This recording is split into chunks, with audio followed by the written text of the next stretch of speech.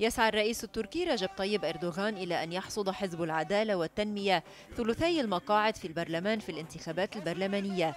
الأمر الذي يمنحه سلطات تنفيذية ويتيح له تعديل الدستور من دون معارضة وإقرار النظام الرئاسي الذي طالما طمح إلى تحقيقه.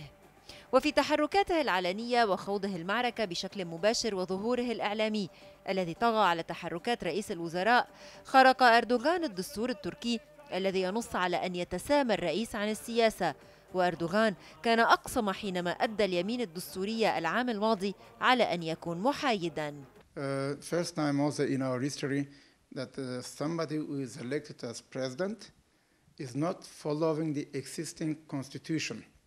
Uh, involvement of uh, Turkish president uh, in the uh, domestic politics is not accepted. That is acting like a political party leader, not as the uh, president should be.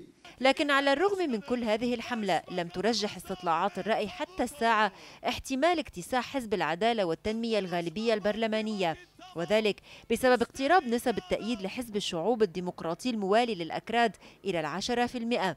وإذا وصل هذا الحزب إلى البرلمان فإن حزب أردوغان لن يحصل على الغالبية. لا سيما في حال حصلت ائتلافات بين الأحزاب والقوى التي ستصل إلى البرلمان.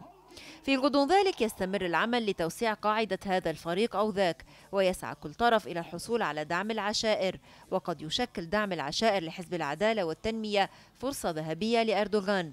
فالعشائر التي تعود أصولها إلى أصول كردية وتركمانية وعربية وتعيش في جنوب شرق تركيا تشكل قوة كبيرة في الانتخابات إذا أعطت أصواتها لصالح الحزب الحاكم.